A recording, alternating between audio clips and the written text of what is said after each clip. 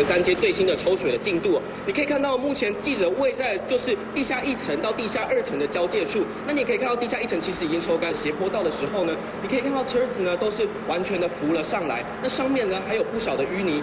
抢救淹水的地下停车场抽水抽到了地下二楼，住户们的汽车、机车满是泥泞，地下三楼的车还沉在水里，有的车飘在车道上，露出了一半。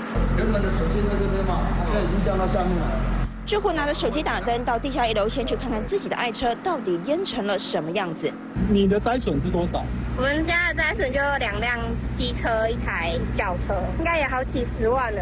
我损失多少？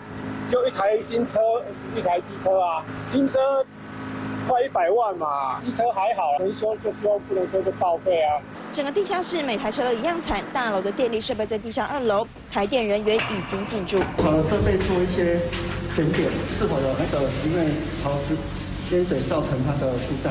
整栋大楼没水没电，住户现在不是住旅馆就是住在，还有部分的人坚守家园。都无方便的啦，哎，这个暗暗时就对了哈。嗯。